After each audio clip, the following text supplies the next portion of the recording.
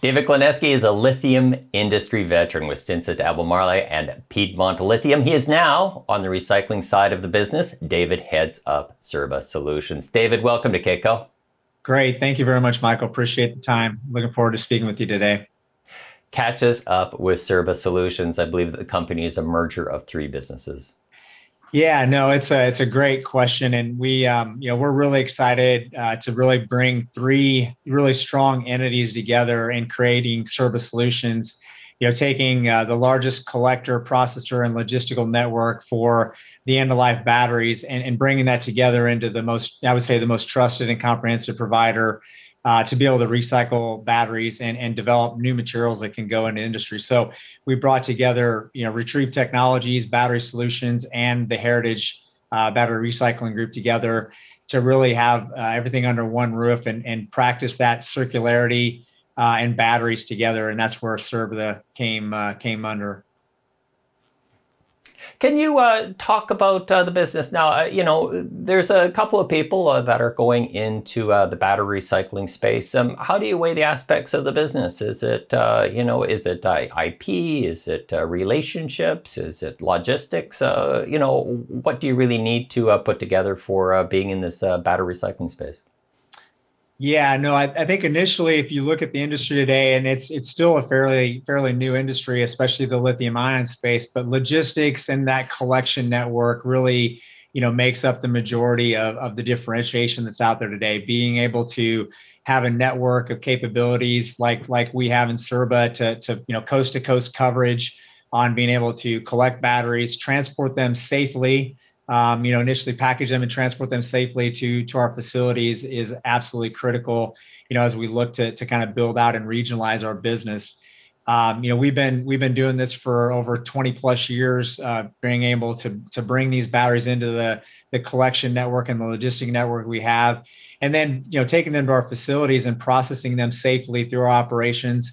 You know, to date, uh, we're gonna you know in 2022 we're gonna process over 50 million pounds of batteries uh, through our facilities. You know, and and again, up to date, we've processed over 50 million pounds of lithium-ion batteries. Uh, just a really impressive kind of track record of being able to do that safely and work with our customers to ensure that we meet all their needs to, to move batteries, uh, you know, from their facilities or from their operations to to our plants to be processed safely. Where do you have to be for those uh, customers, David? Uh, you know, I was thinking that uh, it would really kind of evolve around uh, what the uh, major automakers are doing, and uh, you know, having those close contracts with them. Or do you see that there you're going to need something much more diffuse in terms of being able to kind of process and collect batteries? Yeah, look, I think for the long term success of our business and, and, the market itself in general, right? Customers are always going to be at the center of everything we do. And having those capabilities to be able to, you know, work with them on what their network looks like. And, and again, for an auto OEM, for example, what does their dealership network look like? What are you, you know, partnering with some of the auto recyclers out there? And then also, you know, you've got a tremendous amount of activity with the the battery manufacturers producing batteries, and they have a lot of material that that ends up as not being able to be used into a battery cell or, or a battery pack itself uh, going into a vehicle for example and, and having that network to be able to to collect that material from their their facilities process that um, and then really upgrade that material into something that can be reused again. Those are all of the things that we have today at Cirba and we're really trying to continue to, to push forward on how we you know build on those capabilities and also continue to come up with some innovative solutions for our customers What's your financing situation, David? I recall in another interview uh, that you did say uh, that you were uh, profitable uh, with uh, the uh, companies that have come together. But um, I just imagine that the scale that you're operating at now and what is anticipated to be the scale in a couple years right now is going to be, you know, you're going to have to be a really different type of business. Yeah, no, absolutely. And and look, we've been you know recycling batteries for like I mentioned, you know, 20 plus 30 years or so. Um, and our expertise has really allowed us to to make sure we've got you know great network of logistics to be able to move materials.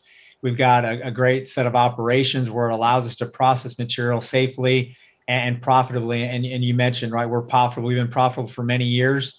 Um, and we continue to, to look forward and, in what that brings to our business and, and what we can do in terms of going from, you know, say six facilities today that we have operational in, in North America and expanding that, you know, to well over 13 facilities over the next four years. So really ramping up our, our operational footprint um, to be able to collect batteries, to be able to transport them safely and process them into these these upgraded materials that can go back into the battery space. And we, you know, we've got a very strong plan in front of us that we believe we can continue to be profitable, um, you know, generate significant cash flow for our shareholders, um, and and then really create a, an attractive investment uh, kind of portfolio for for our shareholders going forward as well.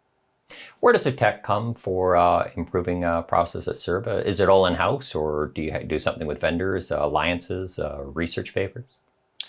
Yeah, it's a combination. We've got some really talented individuals that we work with. Um, you know, in our organization, the Heritage Group has a, as a, a extremely strong research organization that we're leveraging, being able to take their capabilities and identify you know opportunities where we can really process you know the materials in a much more efficient way um, and create technology that that enables us to differentiate ourselves.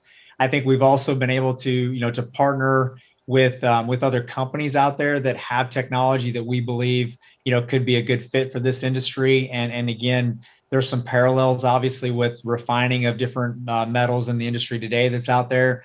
We're, we're going to use some of that technology and, and leverage some of that expertise that we've also been able to to hire and bring in house to to really make sure that we've got a differentiated you know product offering and portfolio for our customers going forward in the future.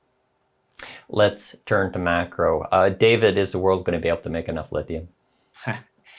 That's a great question. Um, you know, I know there's a lot of companies out there that are going to sure give it the, the best try they can. And, and, you know, I think there's the lithium. I always used to get asked the question, is there enough lithium in the world to, to electrify, you know, the transportation fleet? The answer is yes, there is. There's lots of lithium out there.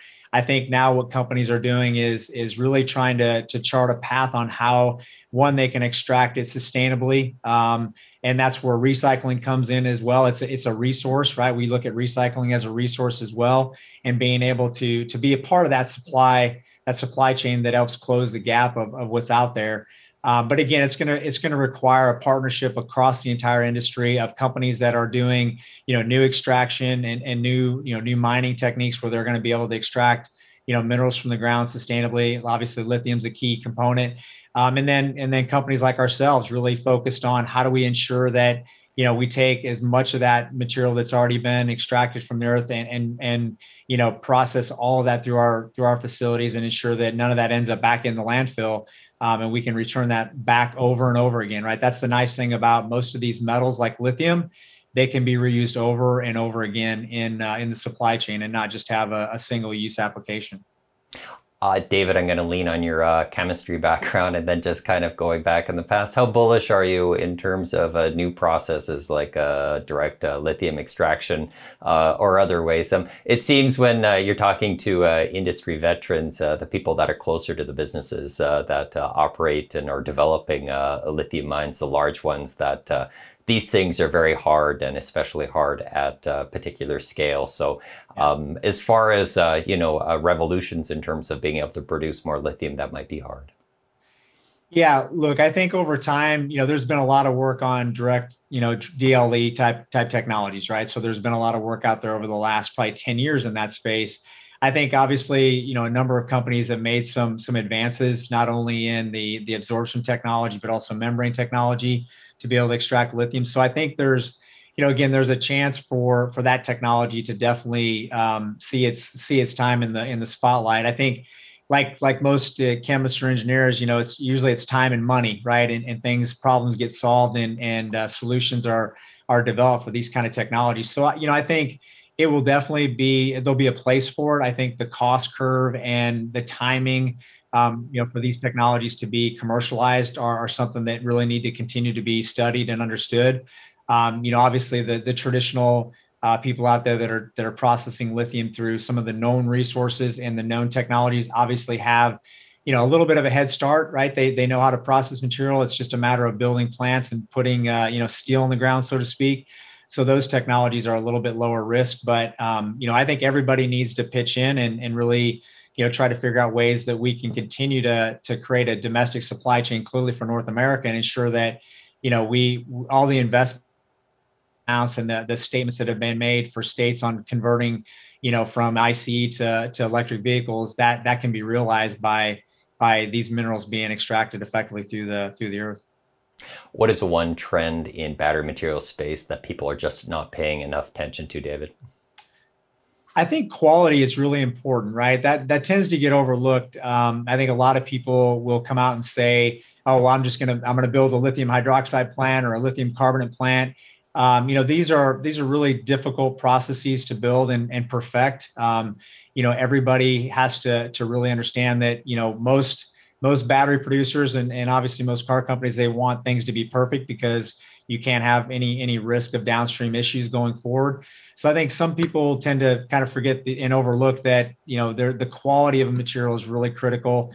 I know we talked a little bit early on about you know people always ask me about lithium being a commodity and and and things like that. I think that's something that you have to be a little bit careful with because you know it's it's a specialty chemical. It's not easy to produce in that level of quality that's required for these these specific applications. So you know, we can always go back and forth whether it's a commodity or not and, and how it's being being viewed.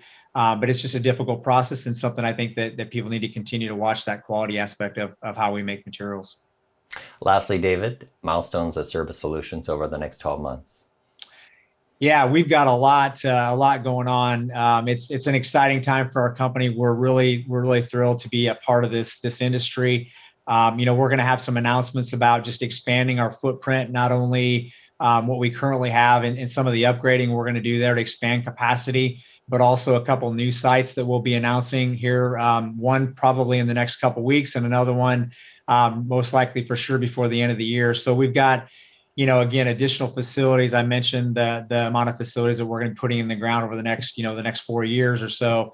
Um, so there'll be the next 12 months. You'll see announcements on new facilities on uh, different product offerings that we're going to be bringing to the market based on some of the the work we've been doing over the last you know six to 12 months in the company so that's uh, something to, to look out for and, and, just the other thing is some really strategic partnerships that we're developing today uh, that we're really deep in the process of, of, working closely with some of the companies in this industry and we're excited uh, some of the work we're doing there we're excited about the trust that they've they've given our company uh, and and again, what we believe is a long-term partnership that we're going to be creating with them going forward. David, I appreciate your time. Great, Michael. Thank you so much for your time. Really appreciate uh, getting the opportunity to talk to you. He's David Klanecky. He's CEO of Cirba Solutions. My name is Michael McCrae, and you're watching Kitco Mining.